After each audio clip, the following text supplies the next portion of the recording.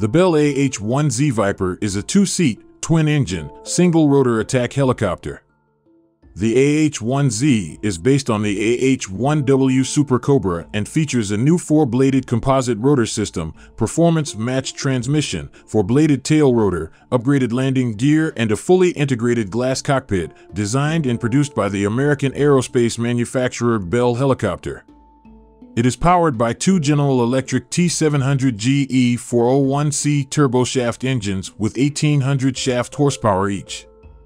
This AH-1Z attack helicopter provides rotary wing close air support, anti-armor, armed escort, armed visual reconnaissance and fire support coordination capabilities for the U.S. Marine Corps under day or night and adverse weather conditions.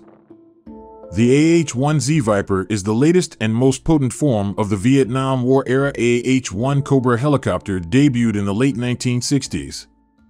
During development of the single-engine AH-1 for the United States Army, the United States Marine Corps expressed interest in a twin-engine arrangement of the same attack platform which gave rise to the AH-1J SeaCobra offshoot introduced in 1971.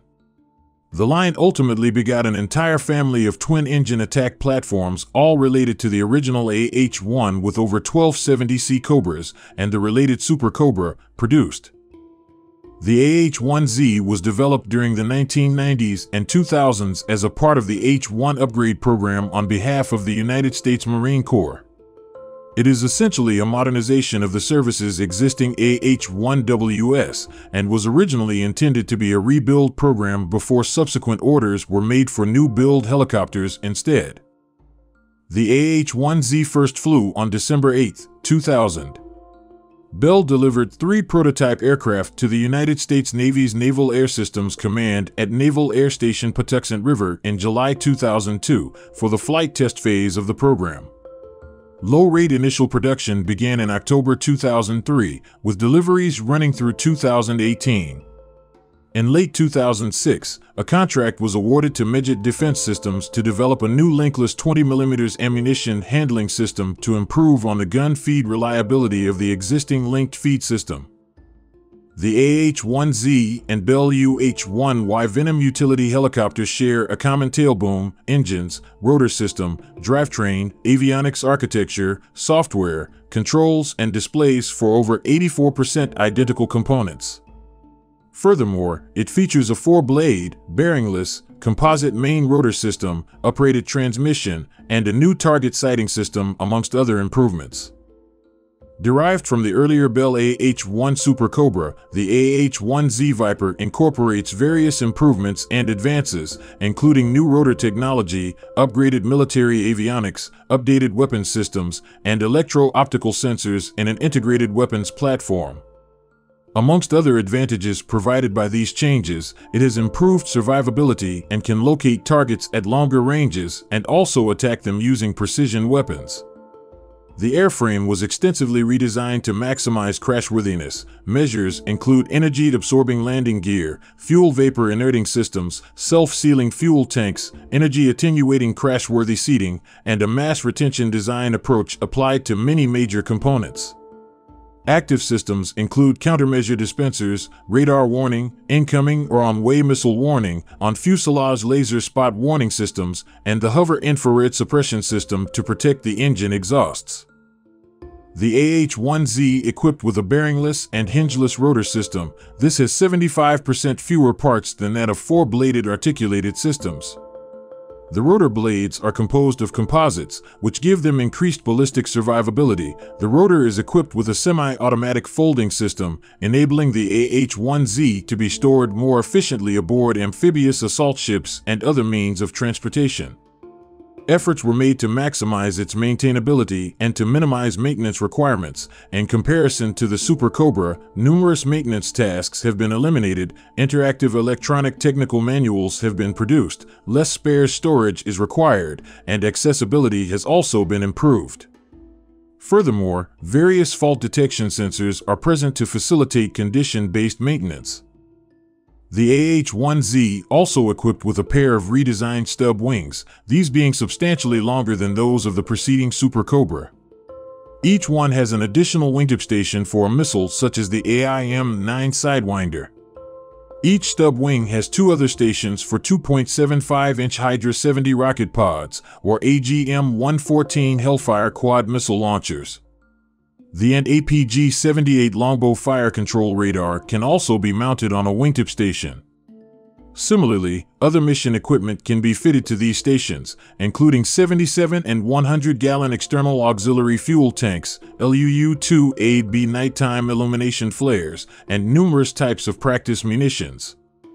Underneath the nose of the AH-1Z is an AA-49E7 turret fitted with a 20mm M197 three-barreled rotary cannon. This weapon has a higher muzzle velocity and flatter trajectory than predecessors. It is also compatible with M50 series air-to-air -air rounds. The cockpit of the AH-1Z Viper has been designed so that both crew members have virtually identical controls. It can be readily flown from either the front or rear positions. These positions incorporate a hands-on collective and stick-side-stick architecture, which enables many functions to be carried out by the pilot without moving their hands from the flight controls. Both of the two crew stations are provisioned with a pair of 8x6-inch multifunction LCDs and a single 4.2-inch dual-function LCD. The AH-1Z has an integrated avionics system developed by Northrop Grumman. This system includes two mission computers and an automatic flight control system. The communication suite combines a U.S. Navy RT-1824 integrated radio, UHF or VHF, ComSec and modem into a single unit.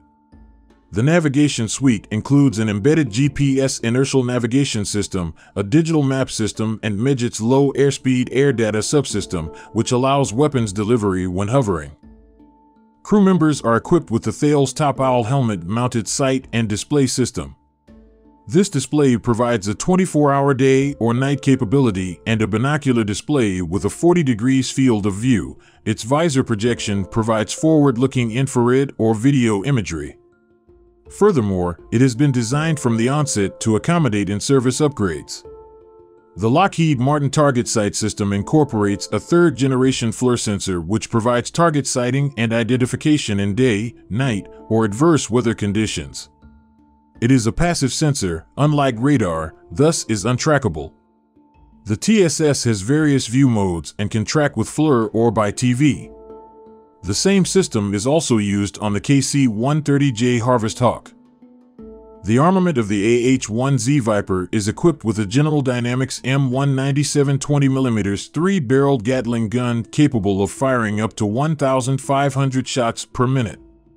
The Viper carries a combination of AGM-114 Hellfire missiles, AIM-9 Sidewinder missiles, and 2.75-inch Hydra 70 rockets. In the future, the AH-1Z will carry the Joint Air-to-Ground Missile, which is currently being developed by the Army and Navy in cooperation with Lockheed Martin. The Joint Air-to-Ground Missile will replace the AGM-114 Hellfire missile. For a short time after formally introduced in 2010, the AH-1Z Viper helicopter was under consideration by the government of South Korea as its next standard attack helicopter until the decision was reached in 2013 to pursue the AH-64E Apache instead. In April 2015, the U.S. State Department approved a possible foreign military sales to Pakistan for 15 AH-1Z Vipers with Hellfire missiles, associated equipment and support worth up to $952 million.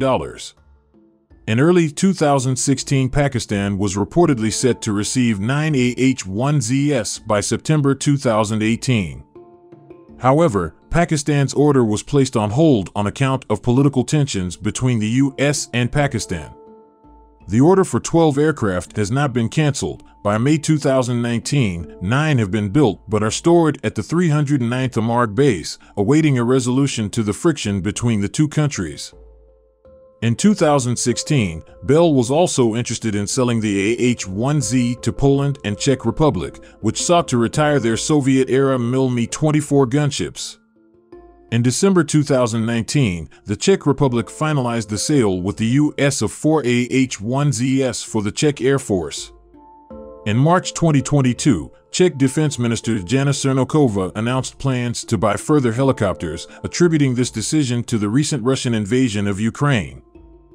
During 2016, it was reported that the Royal Moroccan Air Force was interested in procuring a number of AH-1ZS.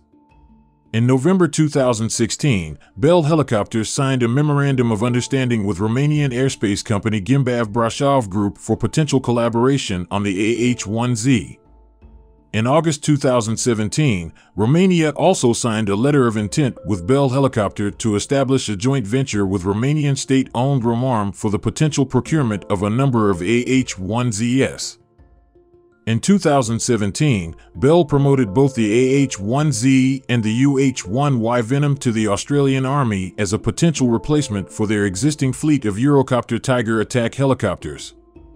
In January 2021, the Australian government announced that it would purchase the AH-64E Apache to replace its Tigers.